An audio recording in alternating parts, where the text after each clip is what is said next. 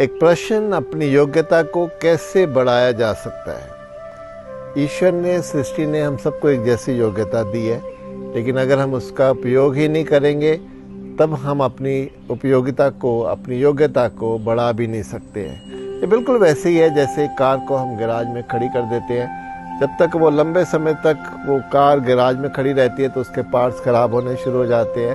वो चलने के लायक नहीं रहती। उसकी उपयोगिता कम होनी शुरू हो जाती है और वो कबाड़ का रूप लेने लगती है। लेकिन जैसे ही वो कार चलती रहती है तो वो सुंदर भी लगती है, उसकी साफ़ सफ़ाई भी होती रहती है, उसके पार्ट्स भी बदलते रहते हैं, उसकी माइलेज भी बढ़ती चली जाती है। ये बिल्कुल वैसे ही हमारा जीवन भी है। अगर हम अपनी योग्यता रूपी गाड़ी को अलस्य रूपी गैराज में खड़े कर देते हैं, उसका उपयोग नहीं करते, फिर वो योग्यता हमारी धीरे धीरे बिल्कुल खत्म होनी शुरू हो जाती है। हमारा जो आत्मविश्वास अपने ऊपर होता है, जो आत्मबल होता है, जिससे हम अपनी योग्यता को कोई रूप दे सकते हैं, फिर वो हम नहीं दे पाते हैं।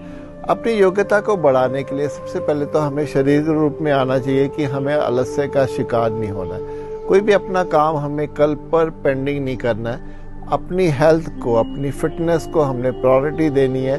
अपनी एक्टिविटीज़ को हमने पूरा दिन अगर हम हम काम में अपने आप को लगाए रखना है तभी शरीर का उपयोग होगा, इसकी योग्यता बढ़ेगी। फिर वही जब हम शारीरिक रूप से अपना काम करते रहते हैं तो हमारा मानसिक जो जो एक स्टेटस है हमारा, जो हमारी पॉजिटिविटी है मन की, वो काम के साथ साथ वो भी डेवलप होनी शुरू हो जाती है।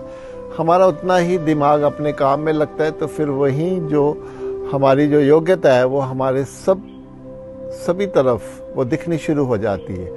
इसीलिए कहीं भी अपने आप को कम ना आके किसी से तुलना ना करे, कोई शिकायतों में ना जाए, एकदम एक्टिव रहें, अपने काम में काम, अपने काम में पूरा हंड्रेड परसेंट डालते रहें। यकीन मानिए, हर तरफ़ से हमारी योग्यता बढ़ती चली जाएगी।